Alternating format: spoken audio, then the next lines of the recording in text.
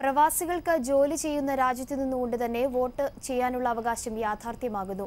ഇതു സംബന്ധിച്ച വിശദമായ റിപ്പോർട്ട് കേന്ദ്ര തെരഞ്ഞെടുപ്പ് കമ്മീഷൻ സുപ്രീം കോടതിയിൽ സമർപ്പിച്ചു. കേസിൽ ഈ മാസം മുപ്പത്തിയൊന്നിന് സുപ്രീം കോടതി വിധി പറയും.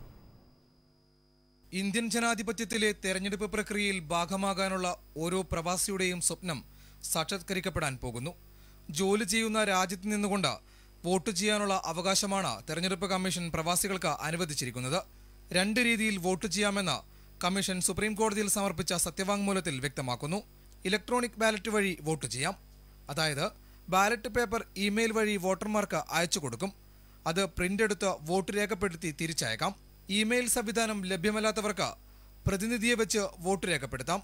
ഈ നിർദ്ദേശങ്ങൾ സുപ്രീം കോടതി അംഗീകരിച്ചാൽ അത് ഒരു കോടിയോളം വരുന്ന പ്രവാസികൾക്ക് ഗുണം ചെയ്യും. വിദേശത്ത് ജോലി ചെയ്യുന്ന പ്രവാസികൾക്ക് ആ രാജ്യത്ത് നിന്നുകൊണ്ട് തന്നെ വോട്ട് രേഖപ്പെടുത്താനുള്ള അവസരമൊരുക്കണമെന്ന് ആവശ്യപ്പെട്ട സുപ്രീം കോടതിയെ സമീപിച്ച ആദ്യ പ്രവാസി മലയാളിയാണ് ഡോക്ടർ ഷംസീർ വയലിൽ.